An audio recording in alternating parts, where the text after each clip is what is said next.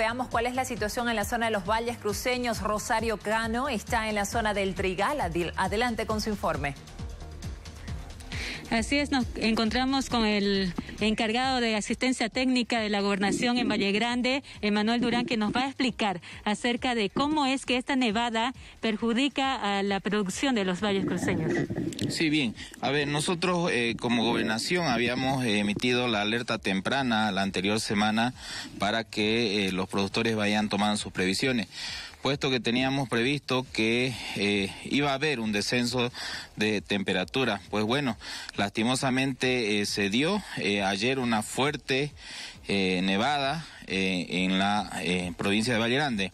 Hoy estamos aquí en el en Sabucal, en el municipio del Trigal este, viendo los daños que ha ocasionado este fenómeno climático que nosotros le llamamos este, helada o nevada, nevada, en este caso sería que son tardías, que salen de la época y que lastimosamente encuentran a los frutales en un estado fisiológico que ya se encuentran encuajados de fruto.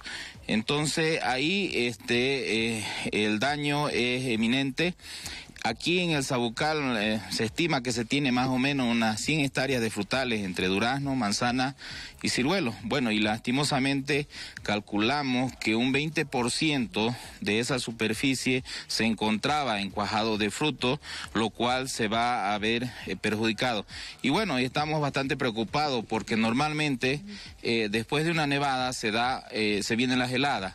Entonces son descensos de temperatura igual que bajan bajo cero, lo cual implicaría que siga dañando a, los cultivos y bueno, y los productores este, siguen perdiendo su producción.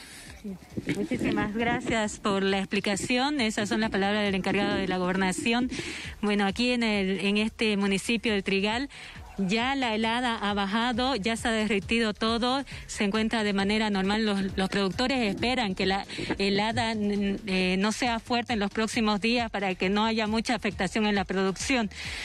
En el municipio de Pucará no sabemos eh, si continúa la helada o no, era en el lugar donde, en la zona donde más había afectado esta nevada, entonces aún no sabemos si continúa o no.